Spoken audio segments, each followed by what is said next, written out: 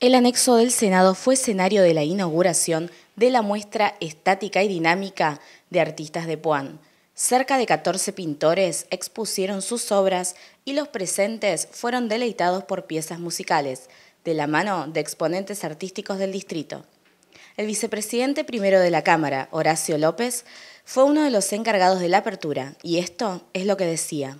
Bueno, esta es una muestra estática y dinámica del partido de Puan es exportar hacia el Senado, hacia La Plata, todas las cuestiones culturales que tiene el Partido de Pone, que son muy abundantes. El intendente ha hecho una gestión formidable en todos estos años con su directora de Cultura y nos parece que tiene que ser conocida por la gente de la provincia y especialmente por los muchos puanenses que viven aquí, porque nuestros pueblos del interior también exportan habitantes, ¿no? Así que hay muchos puanenses en este lugar. Por su parte, el intendente puanense Facundo Castelli reflexionó sobre la magnitud de la muestra. Bueno, para todo nuestro distrito es un orgullo poder, como decía el senador, trasladar todo lo que estos años venimos trabajando desde la Dirección de Cultura con distintos talleres.